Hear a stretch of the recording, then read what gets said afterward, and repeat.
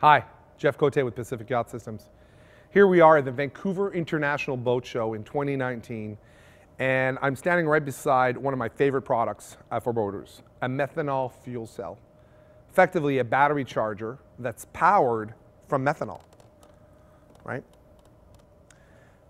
You know, this device is really handy for boaters that are coastal cruisers, right? Meaning uh, they already have some battery power supply on their boat, right? They might have, they've got batteries. They probably have an alternator. They probably have a battery charger, and you know their batteries are not enough. They can't add more batteries on their boat, and they want a way to recharge batteries because batteries good to store power, but as a boater, I mean, it's sort of like been giving money. That's one thing, but you want a way to create money, create power. And for places where maybe the sun is not shining as much, right? You're going so north that there's not that much sun. You're boating in the wintertime, in the fall and spring. A methanol fuel cell is a way of creating methanol, taking methanol, and through this fuel cell, creating a slow and steady DC charge, right? And because it's so quiet, right? It, it hums at 22 decibels. It's got practically no vibration, no smoke. It emits um, a little bit of distilled water that we capture and some boats that actually have flooded lead acid batteries, what they're gonna end up doing, they're actually gonna have the distilled water to top off their batteries.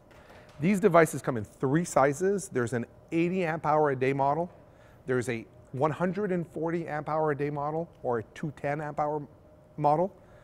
They're all the same physical size. They weigh about 30 pounds. Um, we're gonna install them generally as close as possible to the battery, but it doesn't have to be.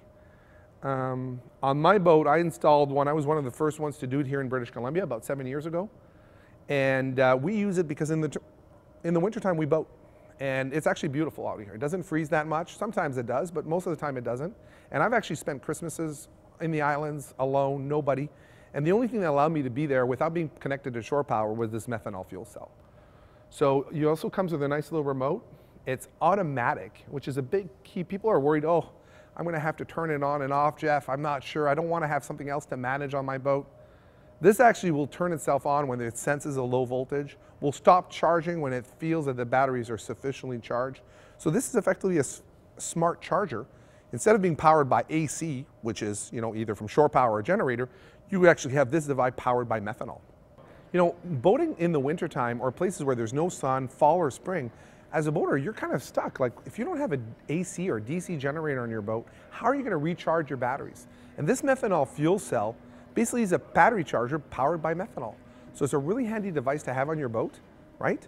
And it's a way for us as boaters to not worry about my batteries are constantly depleting as I'm running all these loads in the off season or even in the summer season. You might be a boater that's going up north and there's not that much sun as you're going up and heading to Alaska. This is a great device to create power for your boat. And if you ever sell the boat, it's easy to remove it. And I've done that on multiple boats where people are changing boats. We take it off one boat, and when they sell their existing boat, this is not part of the equipment list. They just move it over to the other boat.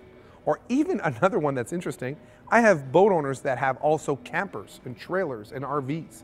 And we'll actually pre-wire this in both the camper and the boat, and they'll actually simply take it out, it's only 30 pounds, move it over, and then they'll actually use this device on both of their recreational, right? Either a boat or an RV. So really, really handy device. Anyways, I want to thank you for watching. There's more content on our website about EFOYs. I've written multiple articles in Pacific Yachting. You can find them on our website as PDFs or HTMLs. And we also even have more content. Feel free to contact us if you're interested in a methanol fuel cell for your boat or camper. Thanks for watching.